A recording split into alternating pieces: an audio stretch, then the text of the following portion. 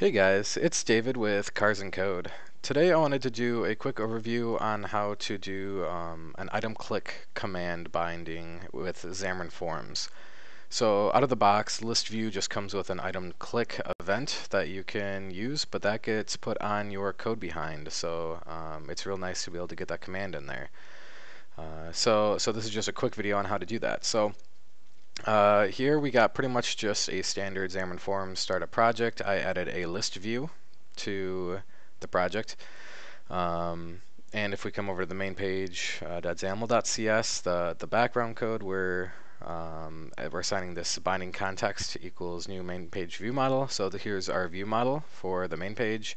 We've got this property called my source, uh, which is going to be the the um, source for the list view, and we're initializing it to first entry, second entry, and third entry here.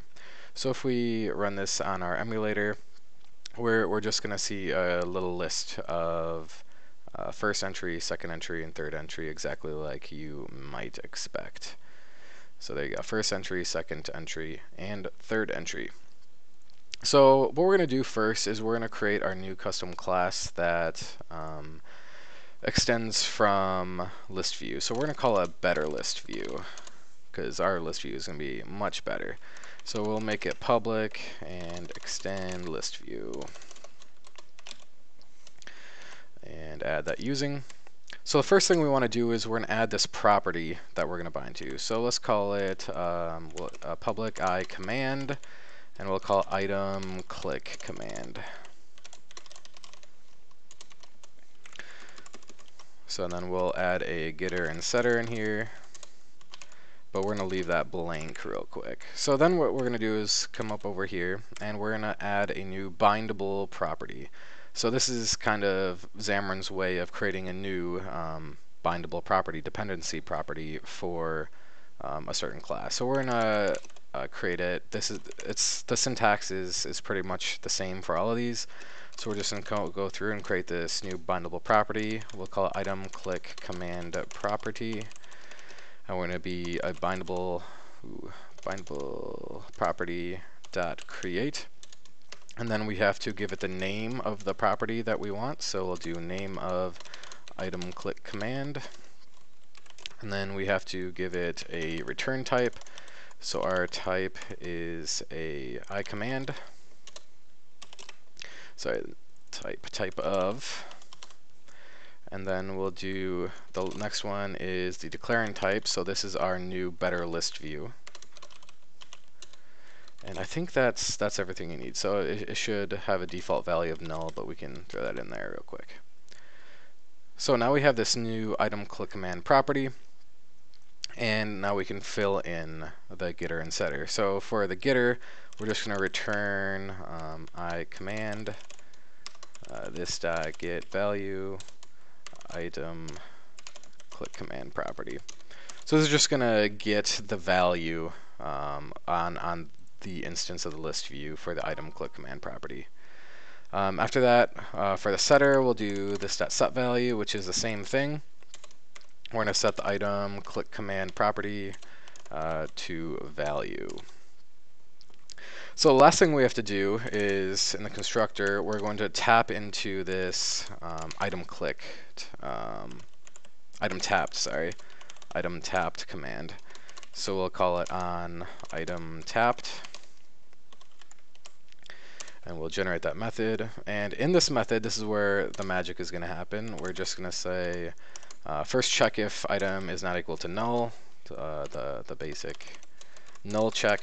And then if it's not null, then we're just going to do the item click command um, dot execute, and we're going to pass through the item that was was selected. And last, what we're going to do is we're just going to set um, selected item to null, because I don't know if you've noticed uh, in in the actual application we just created, uh, if after you select one of these, it stays highlighted. So after we execute the command, we're just going to set it to null, and that's going to deselect it for us, so so we don't have that item remaining highlighted.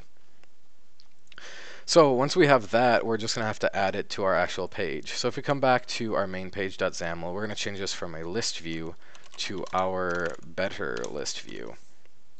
All right, so now we're, we're using this better list view. Um, item source is bind to my source. Now we need to actually uh, do the item uh, click command property binding. So we're going to bind to a variable called, uh, we'll say item click command, sure. Item click command. So now if we go to our main page view model, we're going to create a new um, I command called item click command. So this is what we're going to be binding to. And the getter, we're going to return a new command, uh, add a lambda in here, and we're going to take the item that was selected, which remember this is the string that was, was selected. And then in here is where we're going to have the item that was actually selected. So what we're going to do just to show it when it is selected is we're going to come back over to our XAML here and we're going to add a label and we're just going to say that the text is going to be binding to uh, let's say alert message. Now if we go back to our view model we can create a public string um, alert message.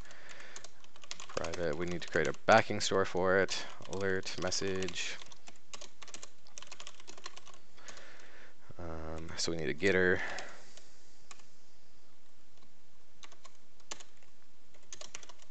And a setter.